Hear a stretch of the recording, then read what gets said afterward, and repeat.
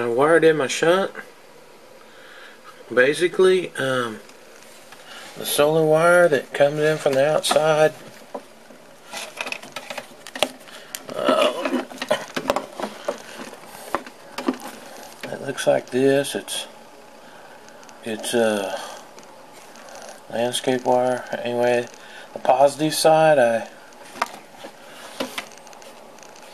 I tied on to that and well, because I already had a ring terminal. Anyway, it goes up into the box and comes up and hooks into the bottom of the shunt right there, and then it passes through the shunt, and then it comes back out and goes back down there, and then it comes up right here is that one I got the little piece of red tape on, and it goes right up into my charge controller.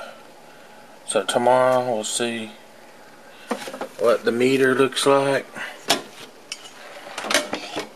Uh, boy, this is a really messed up film. But anyway, that's what it's going to look like.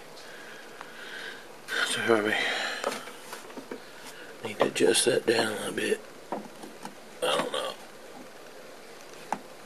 Oh, wrong way. There we go. Zero out. Alright. Thanks for watching.